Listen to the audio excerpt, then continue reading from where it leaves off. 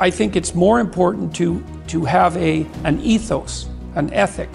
So I have a program, for example, called the Future Authoring Program, which is a writing program that enables people to develop a vision for their life and then to develop a strategy. And so it's based on the idea, imagine that, and it's an extension of the ideas in the book, or at least something along the same lines. The first thing that you want to do is figure out, imagine you were taking care of yourself, like you were someone you cared for, which is rule number two, by the way, essentially. Then you should figure out, well, if you could have what you needed and wanted, what would it be? What sort of friends would you have?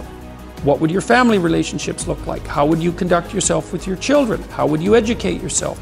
You need to think through how it is that your life could be properly arranged if you had that ability.